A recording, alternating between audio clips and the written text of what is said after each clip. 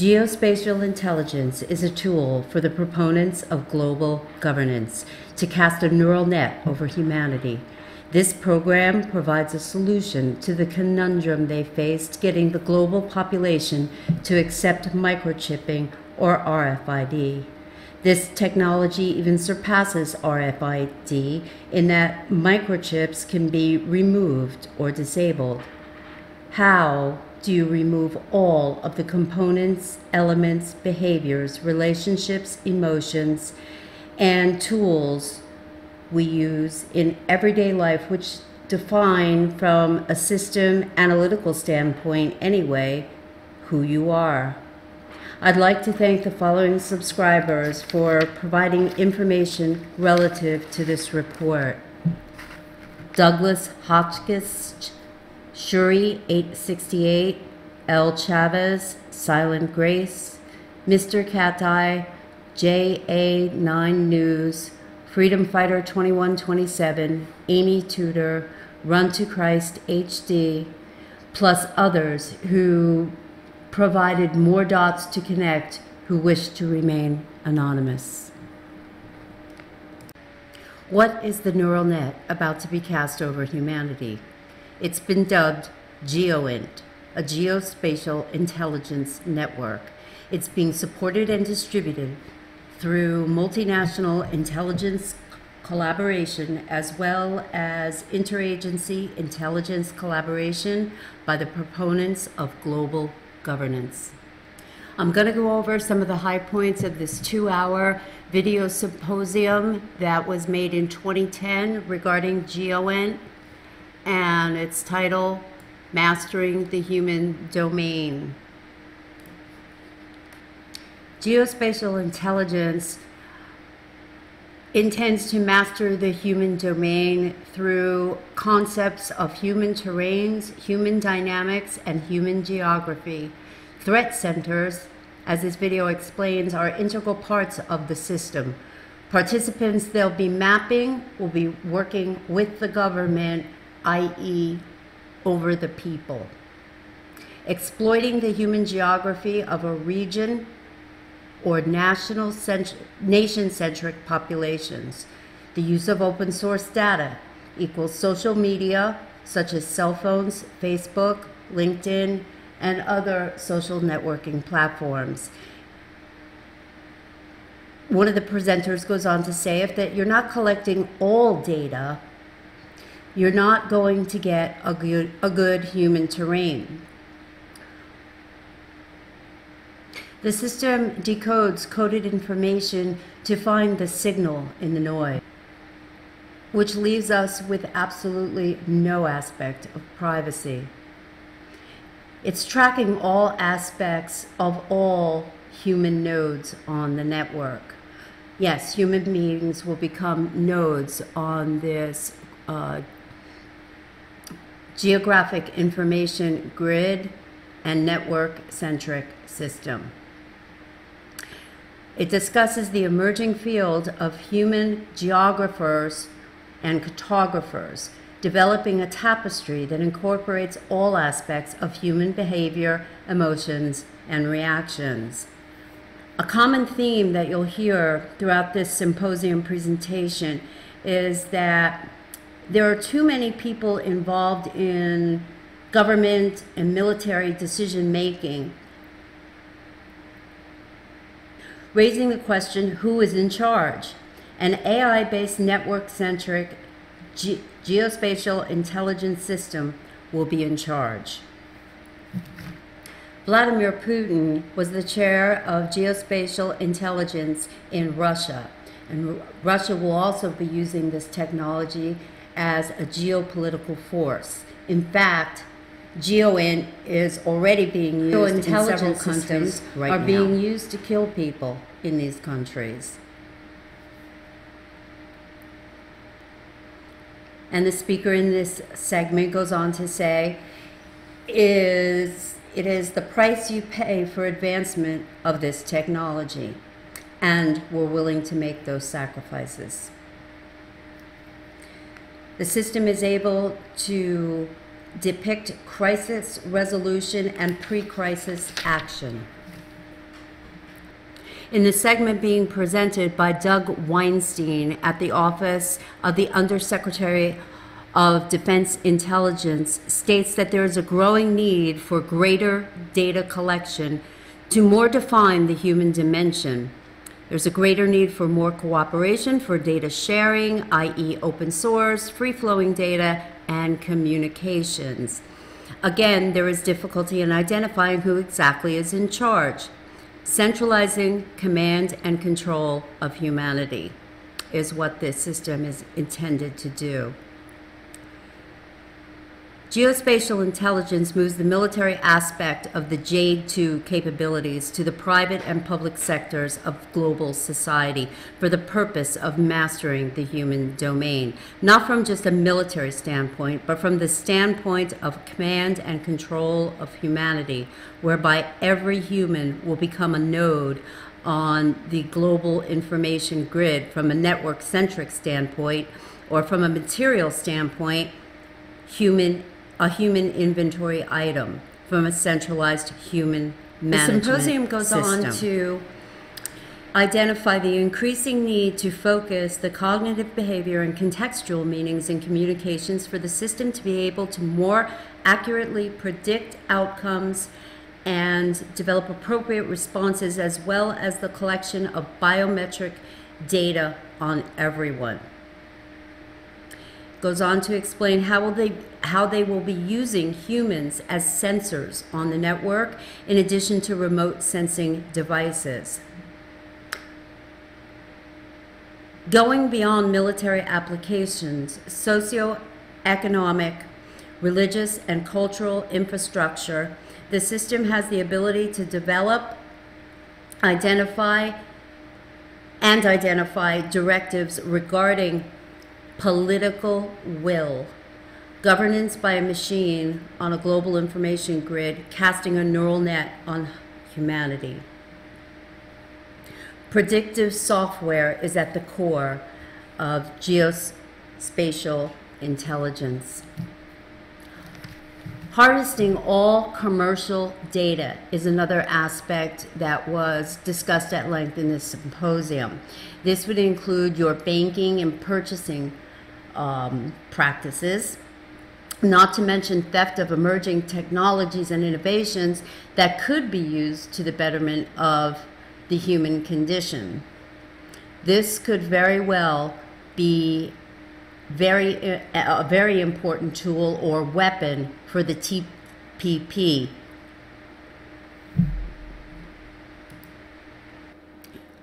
The Geospatial Intelligence Group was formed as a nonprofit back in 2004 with one of its offshoots or child organizations being the YPG, which is one of OGS Systems' um, brainchilds. What is the YPG?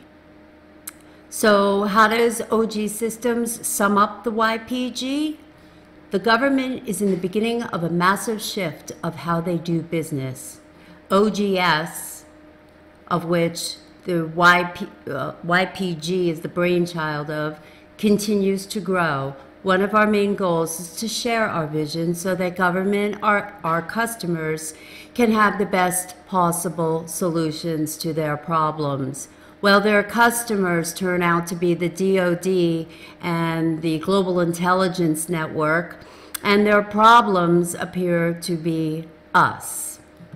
It goes on to say OG Systems is taking the initiative to be active with young professionals within the DoD intelligence community. Uh, video describing the YPG can be found at the following link, and it's here in the article. You might want to check it out.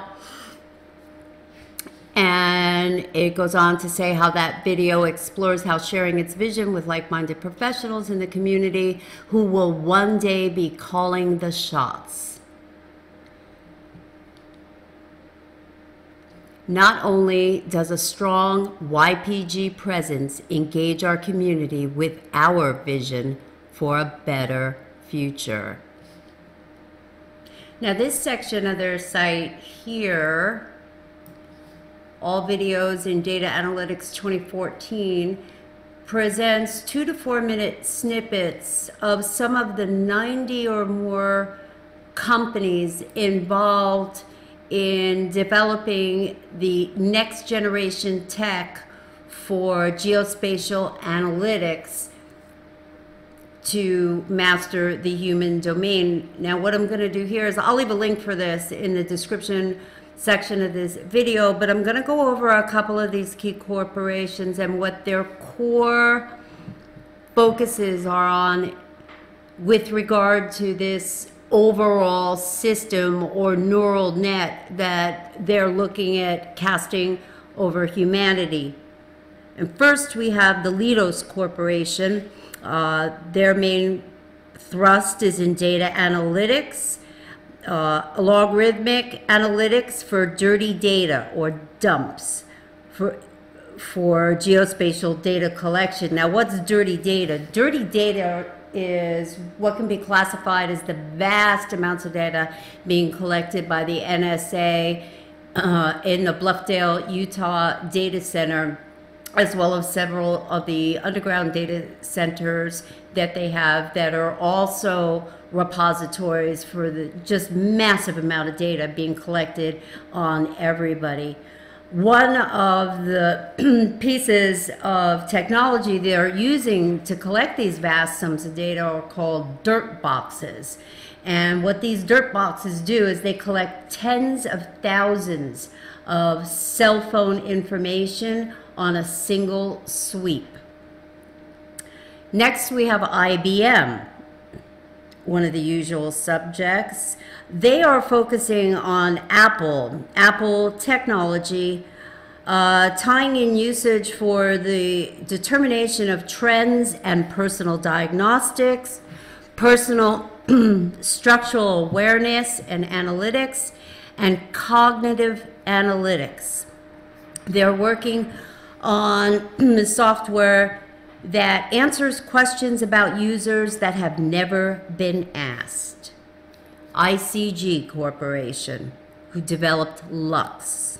Lux is a real-time um, piece of software that is capable of digesting vast amounts of data and run analytics on the fly. And this is going to be a important component of a lot of the modules and technology companies working on geospatial intelligence global systems.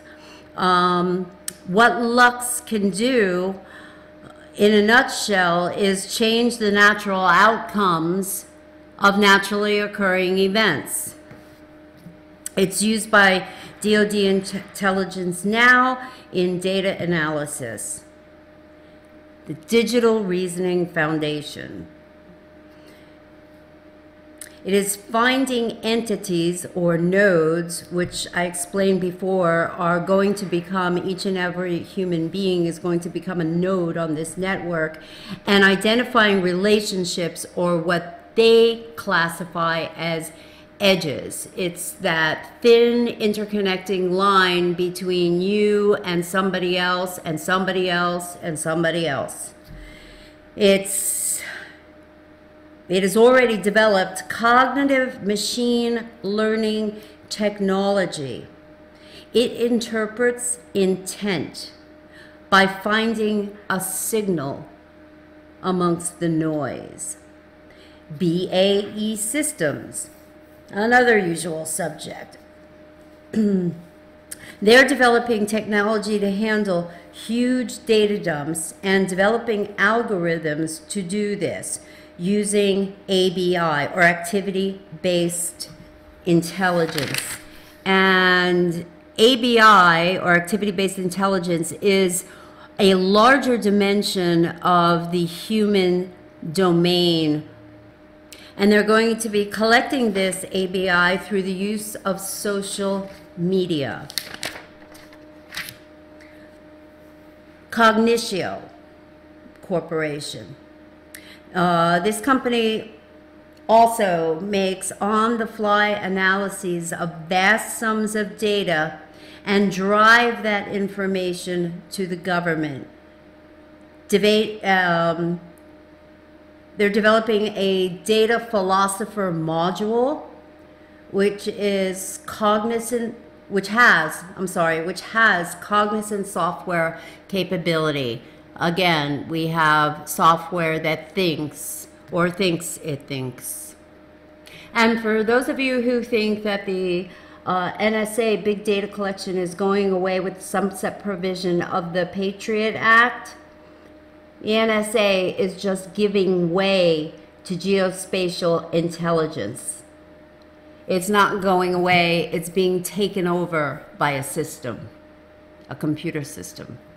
Previously, I mentioned how ABI, or activity based intelligence, is the larger dimension of the human domain. And here we're going to just take a look at this paper put out by USGIF which explains this a little better than I did.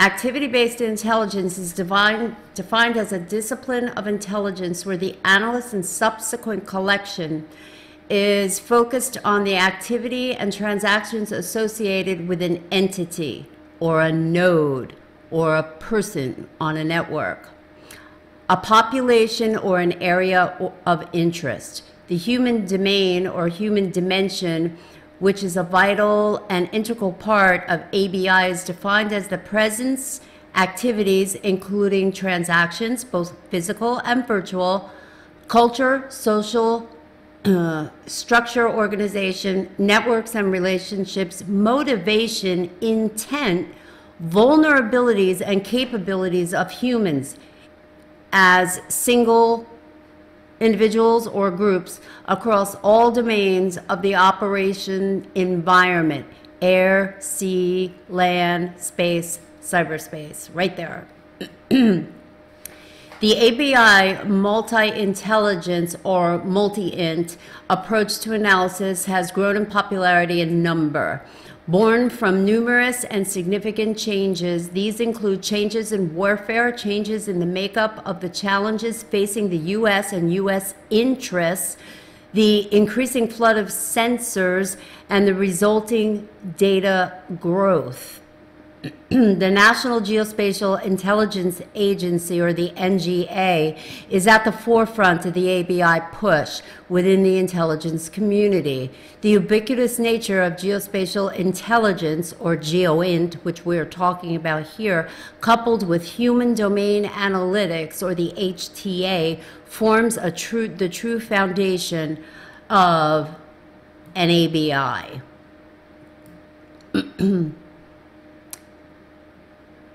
In the past, an analyst worked to solve a puzzle. Today, analysts work on mysteries and don't even know there is a puzzle to be solved.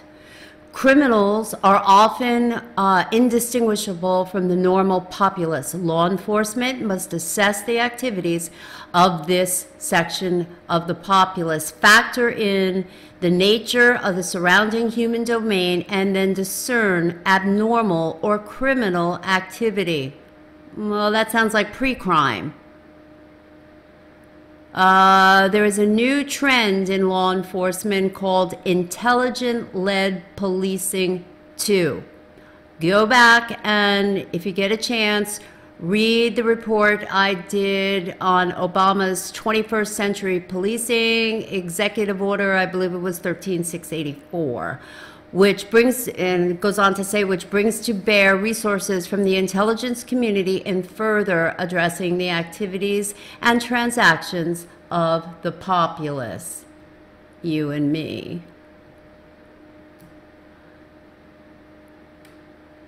One of the challenges facing ABI is that if additional information can crystallize the picture and if the analyst or the software can extract the significance or the signal from all that noise.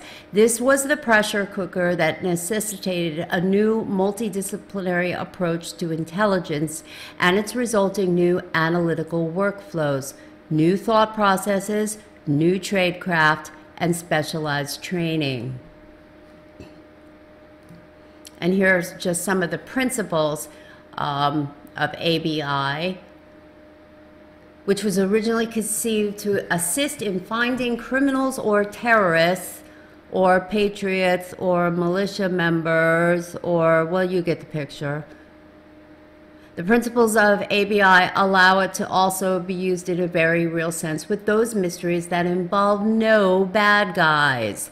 The purpose of ABI has been expressed in numerous forms and can be summarized in the following five elements collect, characterize, and locate activities and transactions, identify and locate actors and entities conducting the activities and transactions or provocateurs, identify and locate networks of actors, provocateurs, understand the relationships between networks, and develop a pattern of life. there is no mention of adversaries, criminal or otherwise, um, in the ABI principles. The analyst is not cued or focused on a specific target, but rather is informed by the data or by the system as it is being presented. The intention of ABI is to develop the patterns of life to determine which activities and transactions are abnormal and to seek to understand those patterns to develop courses of action. That would be threat response. Is focused on understanding relationships between various entities or nodes and their activities and transactions. These activities and transactions are not necessarily just tied to geospatial actions, but also apply across the cyber, social, financial, and commercial domains, to name a few. This you should, you should find interesting. ABI is valuable in understanding the environment even if there are no anticipated direct hostile actions. Pre um, preparation of the environment, support to stability operations, and civil affairs operations all benefit from characterizing and understanding the patterns of life in an area of interest and exploiting that knowledge. First, it goes on to say ABI is the concept of geo-reference to discover. All collected data should be indexed to a spot on the Earth, which is known as georeferencing. Goes on to say that in ABI, the analyst or the software uses multi intelligence data at its most discoverable level to begin analyses. The integration and fusion occurs long before the finished product is formed. Well, that sounds a lot to me like three different people looking at an elephant from three inches away are going to get three different interpretations of what they're seeing. None of them correct, but all of them equally valid. And that's basically explained right here. The third principle of ABI is data neutrality. Data neutrality simply means that all data and data sources are potentially equally, excuse me, viable for ABI analytics. And then the third principle of ABI is called sequence neutrality. Another way of explaining sequence neutrality is that the data often holds the answer to a question that has not yet been asked.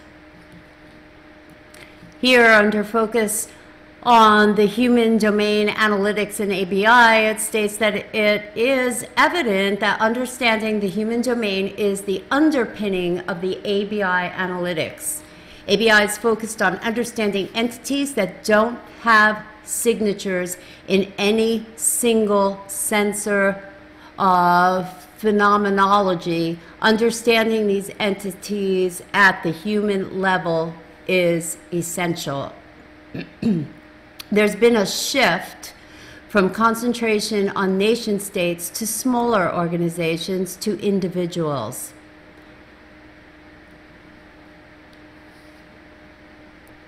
Uh, this system or technology will also be used for support of COINTEL operations, which also re- requires a clear and sustained focus on population centric activities such as governance, development, and local populations, sometimes before the start of hostilities.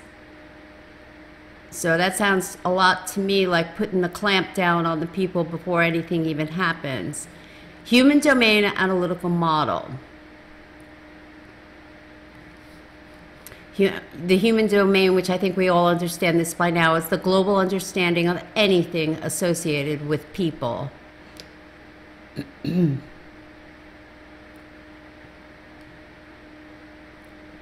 The human domain and its resulting analytics is not a replacement for other domains such as air, sea, land, space, and cyberspace. Rather, it is a lens through which the environment can be viewed, which spans across all the other domains. The significance of the human domain to ABI is unparalleled. It provides the context and understanding of the activities and transactions and allows, in some cases, for predictive intelligence, i.e., forecasting human activity. The human domain, according to this paper, is broken down into four data categories. First is the biographical information. That's pretty self explanatory. The second data type is called activities or what you do, the first being who you are. The third data category is relational or who you know. The final data category is contextual, which is information about the context or the environment in which the entity, or in this case, you, the network node, is found. This data is not static but changes and shifts radically over short time frames. Therefore, a good model of the past is truly insufficient in aiding analysis of today. It goes on to say for the biographical data uh, category, analysts will collect information about name, address, gender, biometrics, language, Facebook pages, etc. For, for activities, um, the collected information will include travel, communications, financial transactions, movement of physical assets, etc. The relational information includes family, friends, associates, membership organizations, community involvement, etc. And finally, the fourth data set, uh, the contextual data type, will include demographics, political environment, cultural norms, social interactions, tribal customs, religions, etc.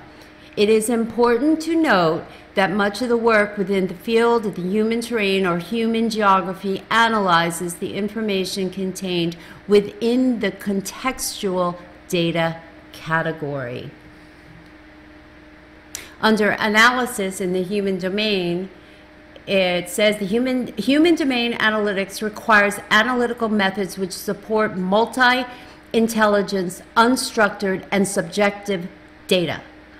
What that says to me is that if the data is subjective, the software will draw conclusions as to the meaning of that data before the entire picture is formed.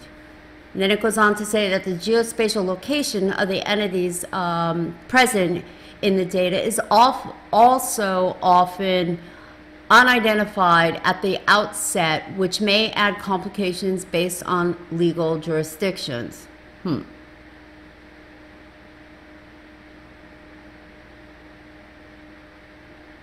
Within the human domain analytic, steps include finding the entity, characterizing the entity.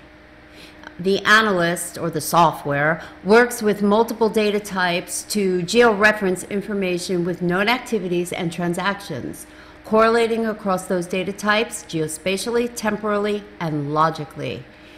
And it also adds to the context and resolution of the entities involved in ABI, or activity based intelligence. ABI key enablers. The rapidly approaching cloud architectures being developed by industry as well as the government lend themselves well to the storage and processing of immense quantities of information. They're using the data you're voluntarily putting up in the cloud as part of their neural net database.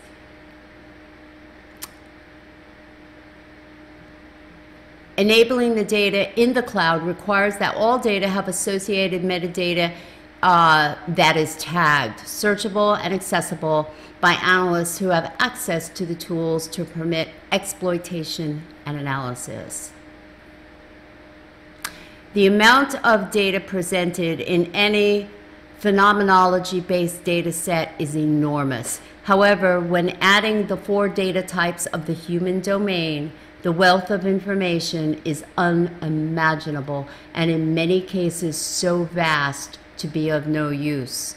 Well, as explained previously, they're taking care of that with technology being developed by the likes of Leidos Corp and others that are able to develop logarithmics and analytics for dirty data or huge data dumps. This component of the system will be driven by a metadata standard whereby all necessary information about entities, their activities, and their relationships can be captured, and which is a key enabler and an absolute essential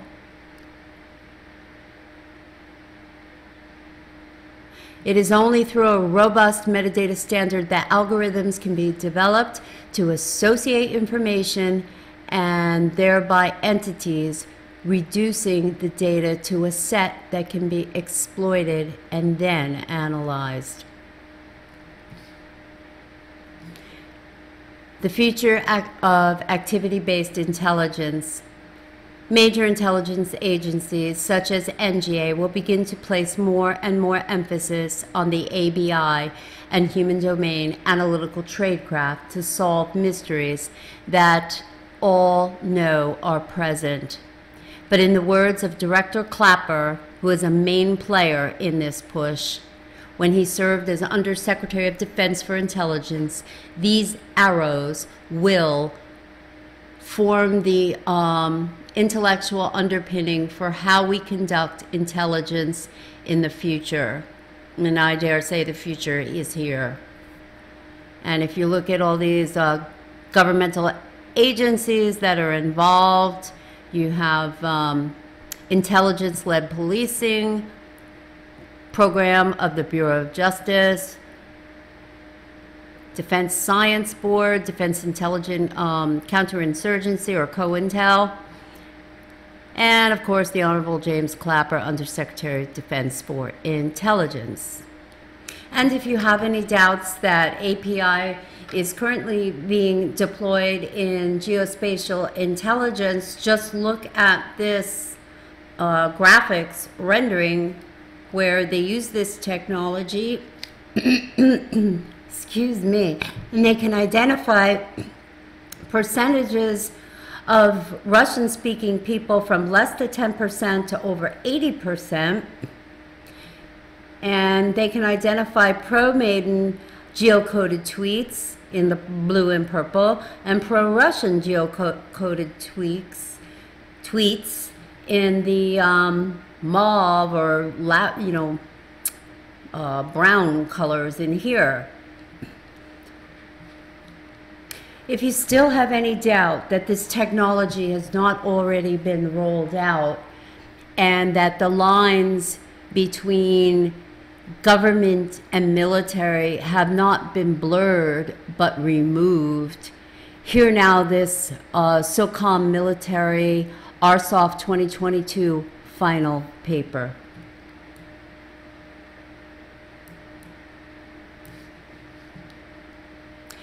As we project beyond Iraq and Afghanistan, we will, we will face a challenging security environment. We are not returning to a pre 9 11 era of operations nor the Cold War era, where competing superpowers created a fairly predictable, if tenuous, world order. New World Order. Instead, this New World Order will be characterized by an irregular balance of power between both state and non state actors. Future threats will range from standing conventional and unconventional forces to irregular militias and paramilitaries to terrorist groups, criminal elements, and any number of hybrids. Well, that in and of itself, by definition, could be anything or anyone or any group. While the rise of non state and transitional actors will serve to complicate U.S. government actions through undergoverned nations, we cannot afford to discount the actions of state sponsored actors who operate much like other violent extremist organizations, only with the state's direction and support. Hmm. What do we see happening in the Middle East?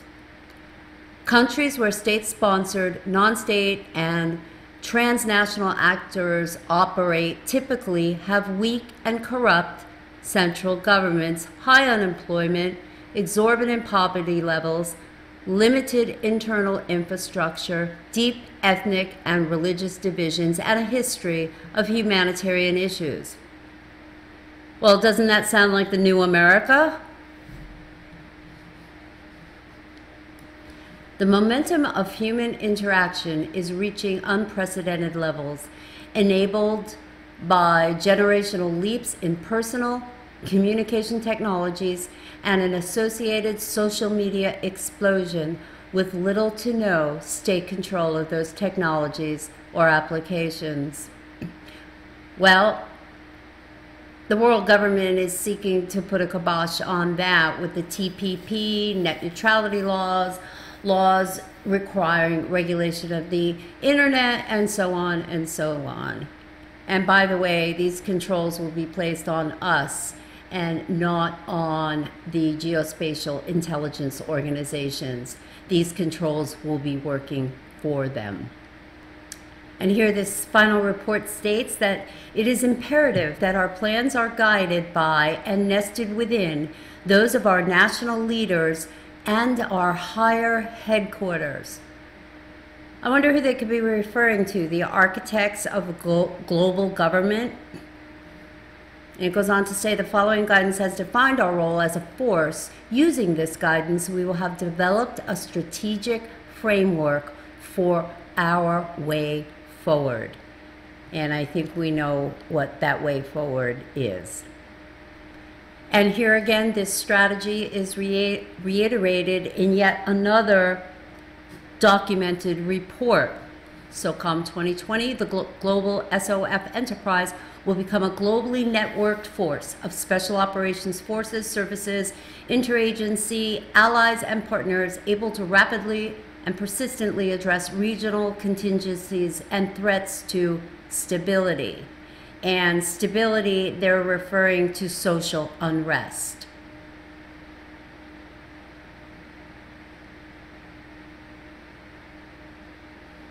SOCOM must not only continue to pursue terrorists wherever they, they may find them, they must rebalance the force and tenaciously embrace indirect operations in the human domain.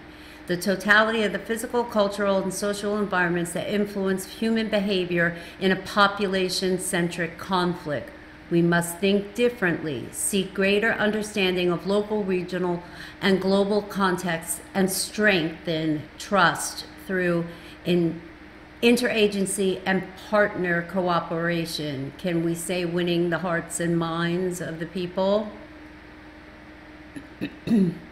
While SOF is designed to contribute to or support ever, efforts in every domain of warfare, and near I dare say, global population control, the vast majority of SOS, SOF expertise lies in the human domain of competition, conflict, and war. The human domain is about developing understanding of and nurturing influence among critical populaces. That's us. Operating in the human domain is a core competency of SOF, S, SOF, and we are uniquely suited for successful operations or campaigns to win population centric conflicts. The emergence of the human domain demands the armed forces and other U.S. government security agencies analyze what it takes to win wars among the people, including defeating terrorists and other VEOs. The concept of humanity being managed and enslaved by an elite technocratic society is no longer a future vision. The network centric global AI system for human command and control is here. The Geospatial Intelligence Program has been collecting information on every human being at an accelerated pace for the past decade. Social networking platforms, the cloud, cell phone technology are just some of the wonderful life conveniences that have been turned against us. I have no definitive solutions to escape the net that's about to be dropped. I would recommend, to the point that it's practical on an individual basis, get off the electronic grid. Just as with RFID, you can be switched off. It's simply a matter of removing your node from the Geospatial Intelligence Network. Thank you for watching, and please share this video with everyone.